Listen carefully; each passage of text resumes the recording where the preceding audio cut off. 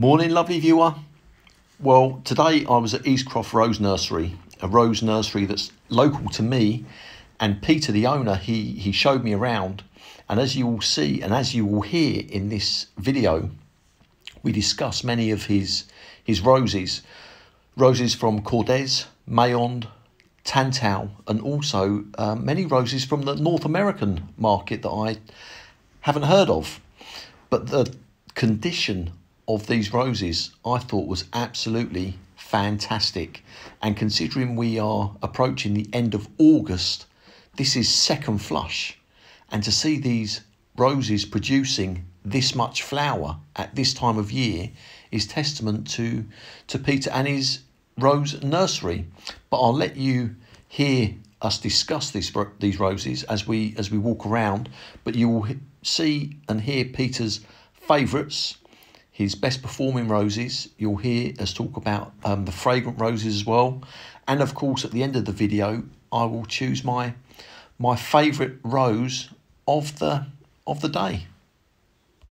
Well, Justin just given me the ultimate challenge and said, you know, what's your favourite rose? And because it changes about three times a week. But if we're talking about really, really good plants, there's not a yellow rose that's much better than this. This is absolutely fabulous and it was Rose of the Year, International Rose of the Year in 2010. It's an American rose, but look how well that's travelled. You know, it's been bred in America, but look how it's performing here with us in cold old England. Yeah. And look at the flowers and the, you know, when it fades, it gets older, it fades a bit like they do, but look at that. Yeah. And it has a very, very nice yellow rose fra fragrance. I'll just let Justin have a sniff of this because he's he's the sniff meister. I'm not. Yeah, that is of all the roses I've smelt today. That is is it's got to be amongst the the top end. And I did say I did ask Peter when we were walking round. I did say what are these yellow roses over in the on the other side and he said absolutely fabulous i wasn't surprised and when i'm looking around in terms of ability to flower this is probably as a variety I would suggest it's probably the the most floracious here today. Probably is. I think so. It's a very generous rose. It keeps giving and it repeats flowers very well. It's good in a container. I've got I've got two and they're they're doing they are doing very well. Will these be for sale next year or this year? That's right. They'll they were budded in uh, 22 and they'll be sold from bare root from this autumn, which is autumn 23, and in pots next year in 24. See, this, these roses are just are just huge. They are absolutely, they're absolutely huge. I mean, look, they're they're up to my, well, they're up to Peter's knees, and he's what six foot two. Yeah, well, probably, yeah, but I reckon my, my knee isn't six foot two. But no, but it's I up to it's up to you. Getting on for two and a half feet. Yeah, for you know for a new a new rose. Brush brush strokes. brush strokes. Oh yeah. well that's it when it's coming out. It's just it's um it's probably the best two color rose we grow. It's very very easy very healthy grows nice and upright flowers freely and amazing you won't believe this justin bred by an amateur. Bred by an amateur. And no royalty to pay so I like this one. Yeah, yeah. But it's beautiful. stunning, isn't it? It is. It is beautiful. It's really popular that rose. I think this. I think this rose will will flower well. It's got to, hasn't it? You know, it's just such a good because you know, for, bearing in mind for everyone who doesn't know, this is just our commercial rose field. So they they have no water, they have no irrigation. They're just left out here to to have to fight it out for themselves. So you're seeing a rose you know, a good rose really performing well under quite difficult conditions because I expect a lot of your listeners and viewers, you know, they probably spend quite a lot of time looking after their roses and we know with roses the more you put in the more you get out. A little bit of fiddling and feeding and watering really pays dividends. You've, you've just said something there. These roses, just run that past me again, you don't water them at all. They're nothing. planted and they've had nothing. These have had nothing. They're just in the soil here? In the soil. What about feed? Uh, nothing. You are joking me. Nothing. But he's, but I'm very lucky. These have had no feed, no irrigation. But I'm very fortunate in that the person whose farm this is is a very good farmer and he does look after his soil. He's very, very hot on maintaining the minimum amounts of the micronutrients that you need. So Right. we know, and he grows a lot of veg, and of course veg tends to have more fertilizer, so there will be residual fertilizer in this, but we haven't actually given them anything. Yeah. Well, that um, that surprises me. I have to say. This is, well, I think this is another good rose. It's a lovely colour. What would you say that is? It, is it more apricot or? It's not. I'd It's- say apricot. It's got it's got a yellow to it. Apricot, I think, is a is a good. Probably apricot. It's not orange, is it? Not really. No, orange. no, it's it's got like a an amber. Um, difficult to It is a bit, isn't it? to put the, the wording on it, but it's a lovely flower. Because the other thing is, different lights. If you came out here more towards dusk, Yeah. we've got a hugely bright sunny day today. See that one? There's more caramel. Sort More caramel, yeah. So if you come out It's a like different light, it changes. What what rose is this? This is one called Dolce Vita. Right. Okay. And again, lovely and healthy, isn't it? Yeah. And that would work well in a pot. And you, it, I think it almost produces too much flower. I mean, it's crazy, isn't it? Look Oh, at I don't know about too much flower. this. Look at it. Yeah, Yeah, yeah, isn't it? It is. It is very healthy. Very healthy. And look at it. Look at it. Look at that. All of that. Look at all of that. Dolce Vita. Dolce Vita. I'm not sure what that means. I should know. Vita must be life, but Dolce, I don't know. It'll be Dolce Vita. Dolce Yeah. Vita. Dolce. And here we've got another another row of roses, and I've no doubt many of you will recognise this one. This is Double Delight, a hugely fragrant rose. I've just put my nose to it.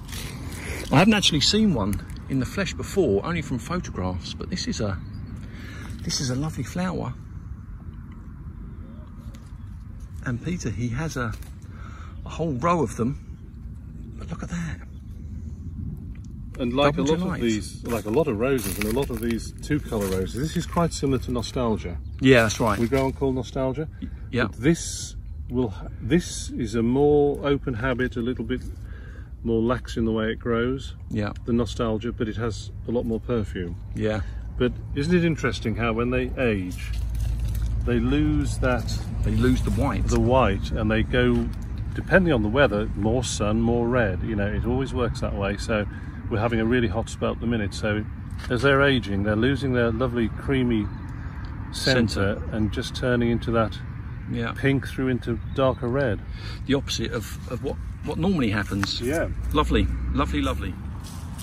What is that rose? What is that rose on this side? Well, on your side. This is a very, very good red. It's, I think it's probably our best red tea rose. It's called Jubilee Papa Meilland. Ah, this is a rose I've I've heard of. It is gorgeous. Look, at the size of oh, I know. that. Look at the size of this one, Justin. I mean, that must be what six six inches across. Look at that. Look at that. And it's Let not get the only beautiful; it's got an amazing fragrance. Powerful, powerful fragrance. And look how tall that is. Now that is over three feet, Yeah, and it's still strong in the neck here. all upright. That is that is a lovely red. It's a deep it's a deep red as well. Jubilee Papa Meilland. Yeah, Jubilee Papa Meilland. Gorgeous. French rose. Yeah. Bred by Meilland, is it? It is, yeah. There was an, a lot of people will know. We get a lot of people ringing up asking for Papa Meilland, Yeah. but this was released. I don't know how many years ago now, quite recently, and this is supposed to be an improvement, and it's dedicated to the founder of the of the breeding family. So it's called Jubilee Papa Meilland. It's supposed to be an improvement on the old Papa Meilland. Fantastic, fantastic. This one here is pure poetry, and as Peter has just pointed out, it's a rose that that I have, and it is looking absolutely. from us, didn't you? I did, I did, yeah. Mine's not in flower at the moment, but these here, beautiful, beautiful. Oh, powerful fragrance. It has a really strong fragrance. Yes, yes. And it's typical of these tea roses. You they often produce singles, but then on their second flowering, they'll often produce multiples. Yeah. Usually, the first flowering, they're like this, you know, just one. Yeah. But I've then- noticed that the, the new, if it sends up a new powerful stem from the base, even for second flush, you get that's where you get the uh, the multiple sort of um, heads, you know, like a grandiflora type type thing, But that's a bit- encouraging that that sort of those new strong stems to come up from the base. But look, look at the size of that, and this is Look, this is There's Justin's hand. It's bigger than your hand, isn't it? it is it is yeah. absolutely divine. I think you can see why I uh, I chose pure poetry when I came here on a, a previous occasion. Look at it. Each one is just absolutely fantastic, and it's the size of these of these roses. Do you know what this one is? Oh yeah, that's that's a climbing rose. That's called Central Heaven, Oh, this is sent from heaven, is it? and that is that's a really good rose. Yeah. That's an English bred one. It's a Chris Warner variety. He's over in Shropshire, Okay. and it's um, it has a beautiful fragrance, and it's that nice sort of slightly milky orange. It's not a really bright orange, No. but it's a very good thing. Very very good. Lovely, lovely rose. This is a lovely red here, Peter. Wh- What's this red Now, here? and, and you were going to ask whether that is yes. Now I like that. That is red Parfum de Provence. And if you like a lighter red rose, that's what you say, crimson, yes. crimson Yeah. red, with a lovely perfume. I'll just go and uh, get you one. Well, it's at its very best. And here we are. I don't know whether. Look at that. That's another, that's another. That's another big rose there. That's got a nice fragrance, hasn't it? Hugely favourite, yeah. Very much, Look very rosy. Classic at tea that. rose. It's good in the shade as well. Yeah. Look at that. Red perfume de Provence. We've got to see sweet perfume de Provence as well at Yeah, some point because I've, I've seen I've seen them already down there, but we'll have to have a, a walk past those and I'll I'll get them on film. But lovely. Yeah, that's it. lovely. Look at this.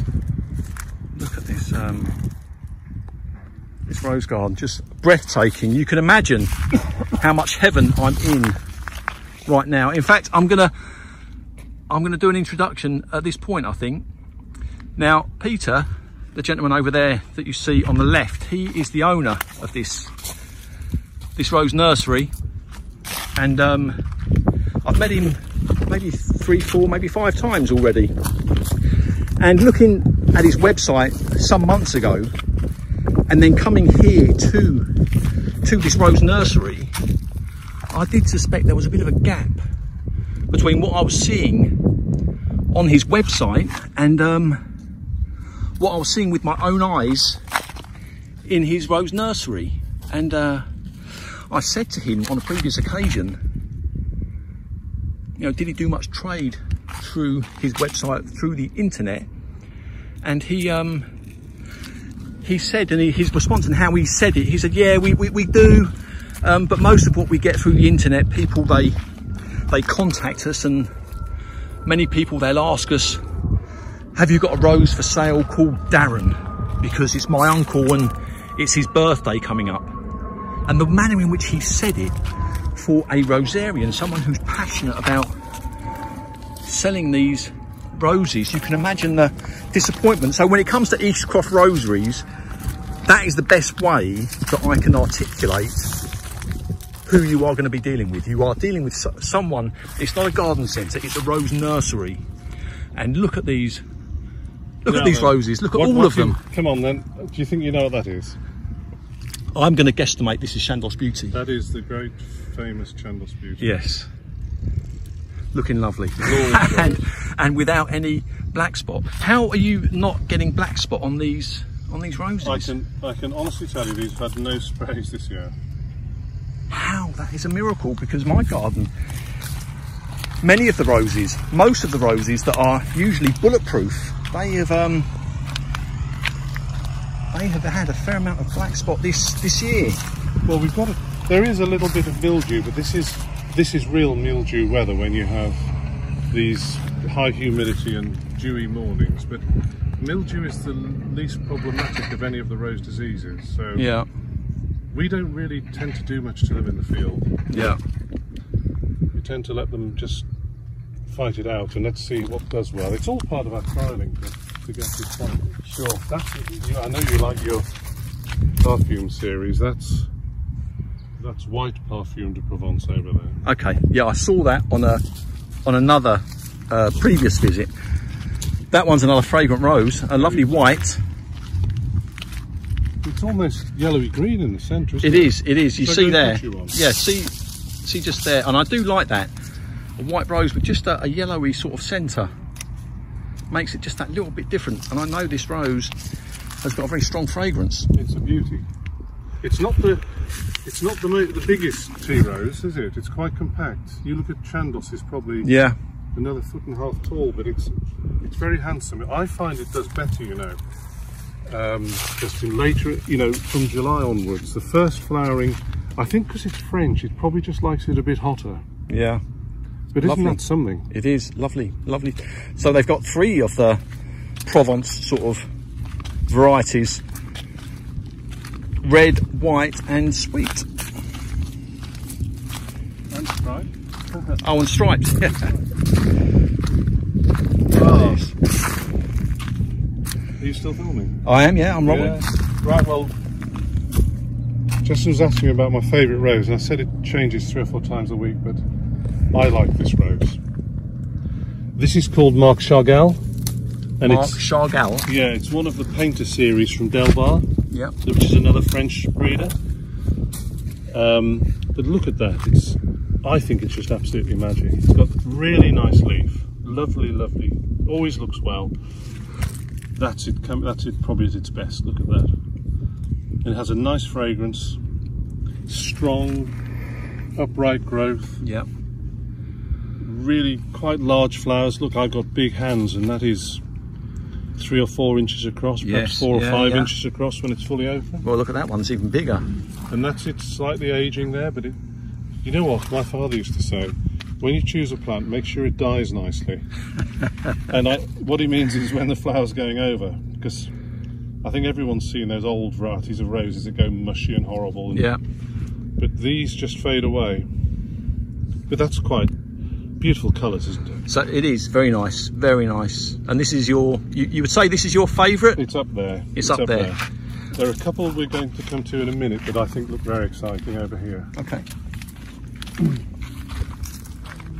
This is a this is a rose I've heard much about, and it's a rose called Coca Loca. Is that right, Peter? Koko Loko. Koko Loko. It is the most unusual colour, but look how look how well it's flowering down here. Look, it is just packed, packed with flowers, and it's it's almost like a the colour I would describe as a sort of what is it a, a chocolatey sort of skinny- caramel Skinny latte. skinny latte. I think that's it. Let me just or a mocha. Look at that. Look at that there. If you're looking for something unusual in your garden in terms of colour and something that flowers very well, it's fragrant as It's well. fragrant. That's a little bit more open. Yeah, stamens in the middle. Koko Loko. Koko Loko. Yeah, that's American. And you've got several American Yes. roses in your. few, yeah. But this one's this one's lovely, Coca Loca, and it's flowering. It's flowering very well. Here we have another rose. It, it's not in flower too much at the moment, but it looks like it will flower well. And it's a rose called Glorious Parfuma, That's right. Yeah, glorious perfumer. and um, it is really fragrant. That's got a beautiful, really deep perfume, hasn't it? It's really fragrant. Look, at, I mean, look at that there. Look at that. And I'm going to be honest, and I'm going to say that this could be my favourite of really the day. like it's, it's, I, re- I really like it. Yeah, I really like it. And I'm not a big fan of white roses, but Would you say that's white though? so far, so far, it's got like a creamy sort of Yeah. centre to it, and that fragrance is something that I really like. It's amazing, isn't it? And look how tall Powerful. Yes, look. I reckon that's That's got to be five, five foot. feet. Yeah, it's got to be five foot. So if you if you want a small rose in a pot next to your patio, you wouldn't choose this one. Yeah, no, but so far, so far, that is a really that is a really lovely flower. Very nice. It's just a shame it's not. Amazing leaf on it, isn't it? But look how look how tall all of these are. Look how tall all of these are. They're huge. They're all five foot, Peter. They are, aren't they? And these will be on sale next year. They'll be on sale. Yes, yes, they'll be on sale next year. Look at that. It's not in flower, unfortunately, but I've showed you the, the few flowers that are there as best I can, and that was a, a particularly powerful, powerful fragrance. But we'll see if there's there's another. And here's a lovely, a lovely delicate yellow. It's called Avec Amour. Good size to it, and look at that. If you if you are after a yellow, the light the sun is round the wrong side unfortunately but that is that is divine. And there's another one just there. But that is that is lovely. It's a very, Very nice, nice. yellow, isn't it? it is. It is a nice yellow. A lovely pale, it's got like a lemony yellow, isn't it? yeah i would i would agree with that.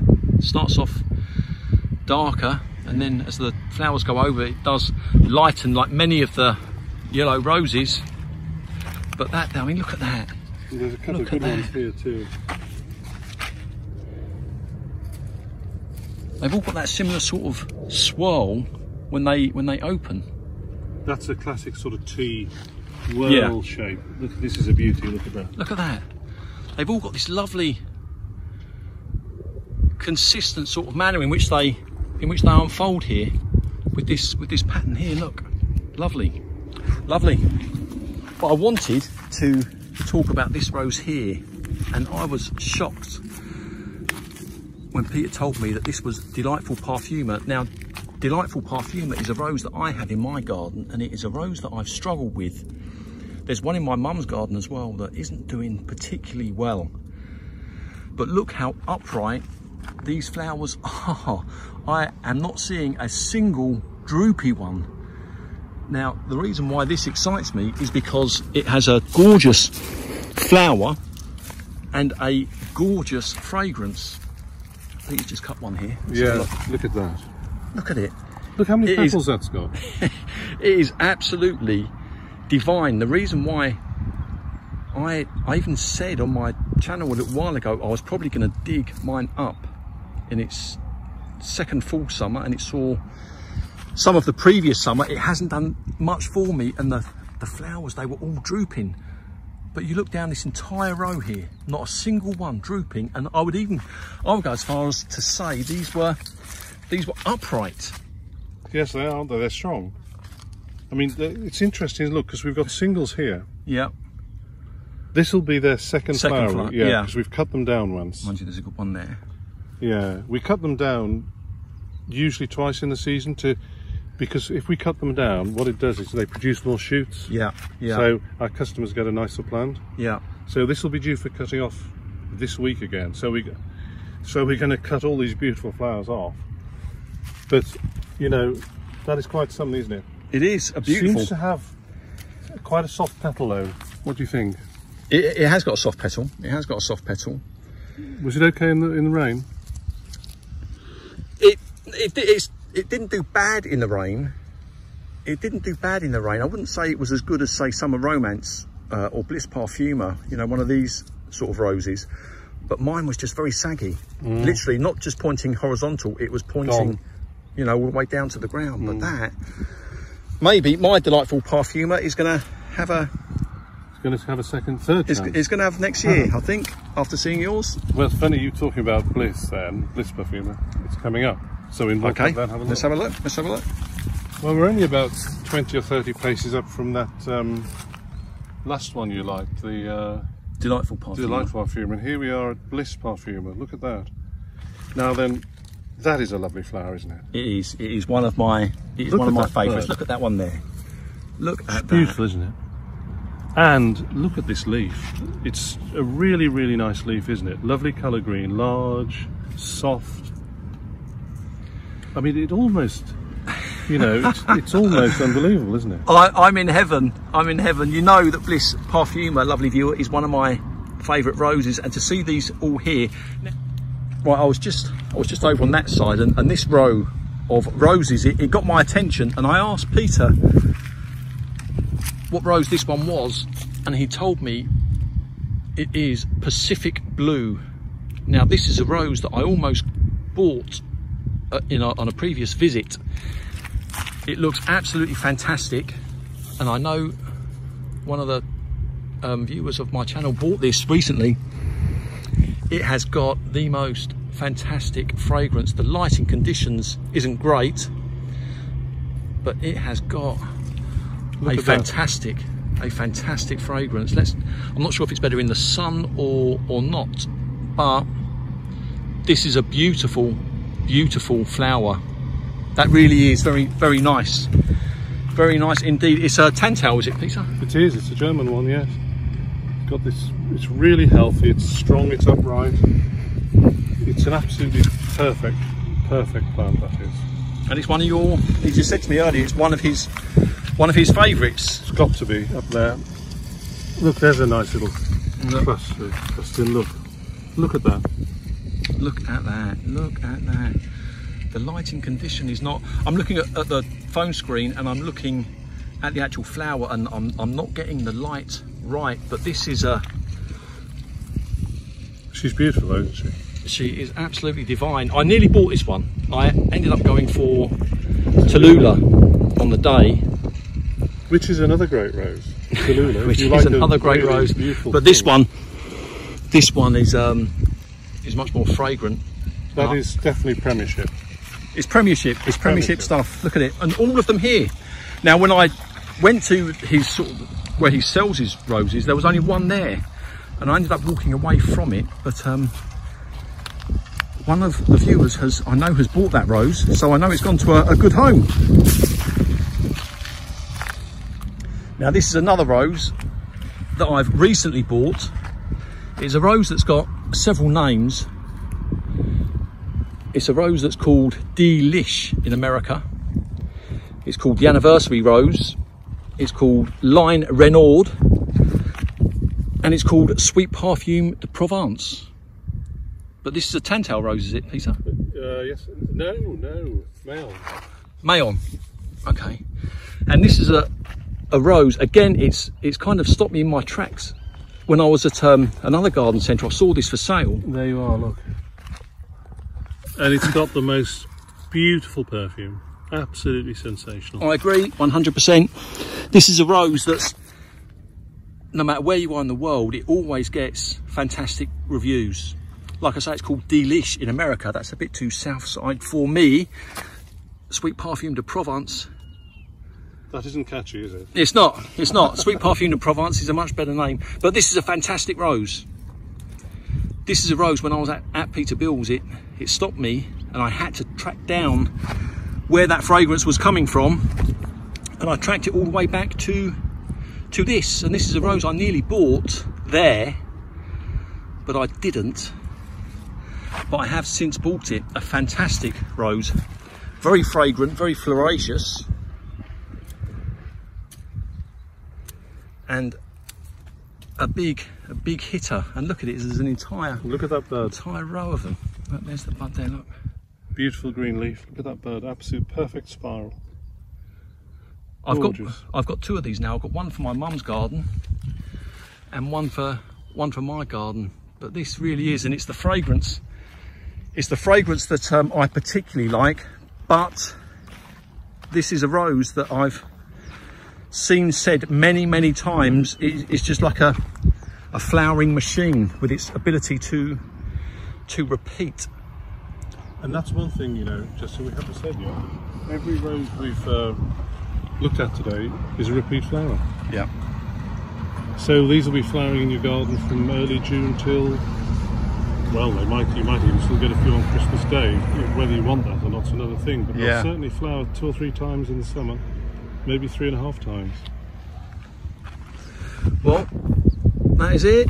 That's our a nice one to finish on, isn't it? It is, and I'm gonna we're gonna finish. We're gonna do what I normally do, and um, I'm gonna finish on my favourite rose of the day. And I'm gonna tell you now, it's gonna come down to two roses, and the first rose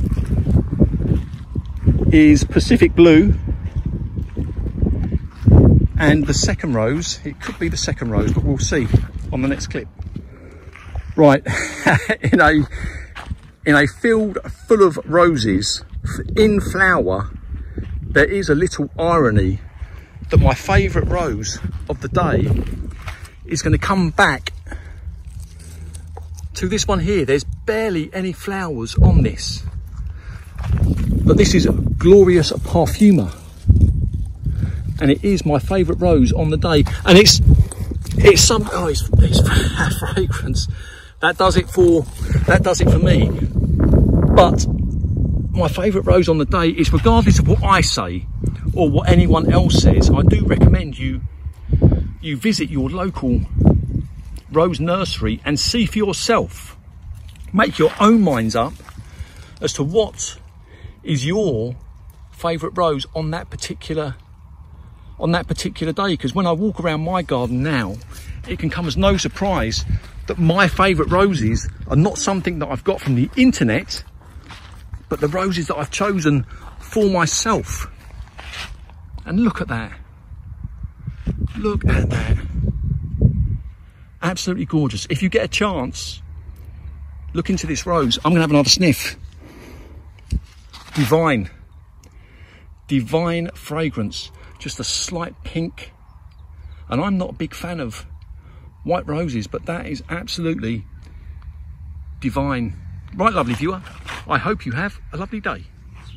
Well if you made it to the end of the video then well done because that was a long video even by my standards.